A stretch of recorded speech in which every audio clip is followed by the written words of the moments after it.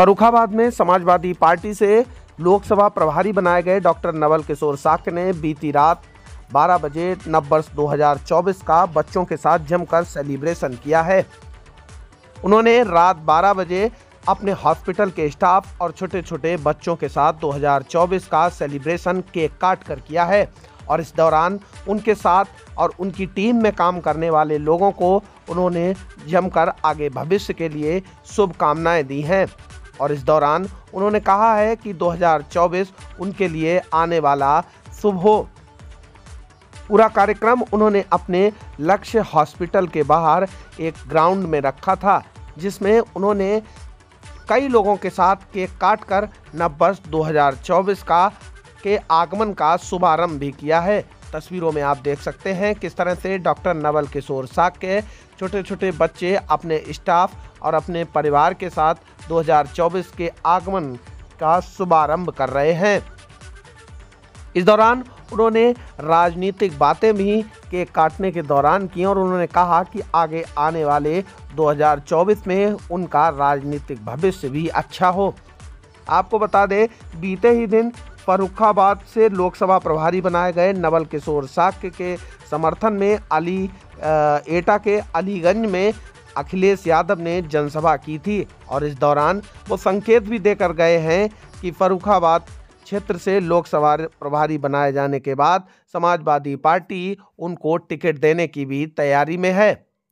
इस दौरान डॉक्टर होने के साथ साथ वो मरीजों के साथ अन्य लोगों का भी अच्छा इलाज करेंगे। खैर आइए, आगे आपको सुनाते हैं कि इस पूरे प्रोग्राम के दौरान फरुखाबाद से लोकसभा प्रभारी बनाए गए डॉक्टर नवल किशोर साक्य ने अपने राजनीतिक भविष्य के बारे में भी क्या क्या कहा है। Bureau report UP TV news. मैं बहुत बहुत शुभकामनाएँ देता हूँ। थैंक यू और उनके जीवन की बहुत शुभकामनाएँ बधाई देता हूँ। ये जब मोबाइल उधर और? हाँ। अब सही है तो रोशनी अच्छी है। जीवन के किसी भी पथ पर हम्म सही है। मेरी खुशियाँ जहाँ भी जाओगे आगे रहोगे बहुत तरक्की करोगे। और मेरी जब भी ज़रूरत पड़ेगी इन बच्चों के लिए एक भाई की तरह मैं हमेशा खड़ा रहूँगा। राजेश तो अपने लाइट है ना? लाइट और- जरा अपने फ़ोन इस 2024 के शुभ अवसर पर हो गया। पूछा ही नहीं कब तक। जा जाऊँगा जल रही है थैंक यू ये सारे 2024 दुनिया के इस अवसर पर ए शांत रहोगे? दो मिनट। एटीएस 2024 के इस अवसर पर हम फरुखाबाद में, जहाँ हमने लगातार 11 सालों से अस्पताल के माध्यम से लोगों की सेवा करने के उद्देश्य से मैंने उनकी दिल में जगह बनाने का काम किया है। मैं आपको भरोसा दिलाता हूँ, आगे जो भी राजनीतिक ज़िम्मेदारी मिलेगी उस ज़िम्मेदारी का पूरा निर्वहन करूँगा। और सबसे बड़ी बात, जो हमारे छोटे छोटे बच्चे हैं छोटे छोटे भाई हैं, उनकी शिक्षा पर सबसे ज़्यादा ध्यान देने का काम करूँगा। इसके अलावा राजनीतिक जिम्मेदारियों के रूप में मुझे जहाँ फरुखाबाद का अब तक कोई भी विकास नहीं हो पाया। उस विकास को मुख्य धारा से जोड़ने का काम करूँगा।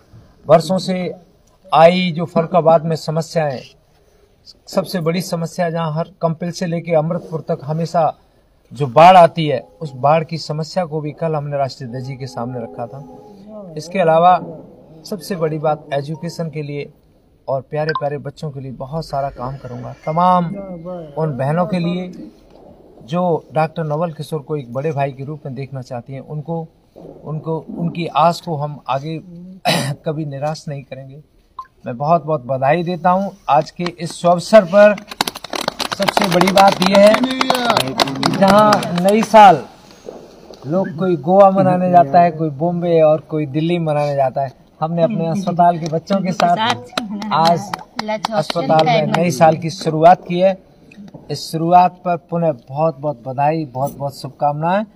और आप सभी को जितने भी हमारे ऑडियंस हैं, सब देख रहे हैं, उनको बहुत बहुत इस केक खिलाते हुए, सारे अपने दर्शकों को केक खिलाते हुए, नव वर्ष की हार्दिक शुभकामनाएँ।